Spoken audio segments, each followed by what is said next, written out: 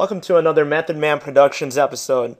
Today's lesson will be about solving equations with ratios or equations with fractions. Usually, these problems are the ones that my students skip when they're not that strong with solving equations. Example 1 Solve for m. I'm just going to make my t chart, keep it a little organized. And since m is on my right side, that's the side I want to start off with. There was one term on the right side that you wish wasn't there, which one do you think it would be? I would wish that the negative 2 wasn't there. Since this is division of negative 2, to undo it, you can multiply by negative 2. Both sides. Negative 2 times 4, that's negative 8.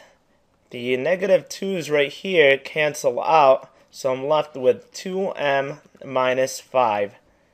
Now look, I have an equation that was way easier than what I started out with. This is now just a two-step equation. Add a 5 to both sides. Negative 3. The 2m we didn't touch, that drops down. The negative 5 plus 5 cancels out. And from this point, it's now just a one-step equation. Divide both sides by 2. Negative 3 divided by 2 is just negative 1.5 equals, the 2's cancel out, m. For example 2, solve for n, the problem looks very similar, but I'm going to teach you guys how to do this in another method. That's the beauty about math. There's more than one way to solve these equations. One way to solve this problem is to make it into a proportion. You're asking yourself, well, how can it be a proportion if both sides aren't fractions. If you want to make 2 into a fraction, you can put 2 over 1 because 2 and 2 over 1 is the same thing. Doesn't this problem look familiar to one of the previous lessons that we've done? If you were thinking of cross multiplying, you are exactly right. 2 times 3n that's just 6n and set it equal to 1 times 2 minus 6n. On the left side we can't really simplify it, but on the right we can use the distributive property. It's 1 times 2, that's just 2. 1 times negative 6n, that's negative 6n, equals 6n. You want to move this 6n by adding a 6n to both sides. 6n plus 6n, that's just 12n equals 2 drops down, the negative 6n and the positive 6n cancels out.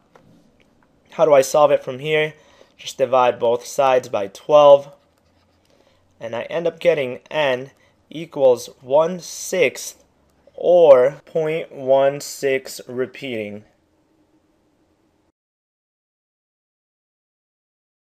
Alright, let's apply the knowledge that we just learned. Please pause the video and try the problem below. You're solving for x. You might need a big piece of paper for this one because there's a lot of things going on. Just remember what I said. Try to play around with the equation a little bit, but trying to make it as easy for your eyes as possible. When you have finished trying the problem, unpause the video and the answer will show up right in front of you. Here's the answer to that crazy equation that I gave you. You got this one right. You are master of all equations. The first thing you had to do was cross multiply. The pink result is shown right here and the green result is right here. Use the distributive property to make the problem easier for yourself. After you have distributed, it's just an equation with variables on both sides. Move all your x's on one side, I chose the left, by adding 2x to both sides. 2x plus 2x, 4x. The negative 2 drops down. Negative 2x plus 2x cancels out. Negative 4 drops down. From this point on, it's just a two-step equation. in the end, you get x equals negative 0.5 or negative 1 half. When solving hard equations, always try to rewrite the problem and simplify it to turn it into an equation that's easier for you to solve.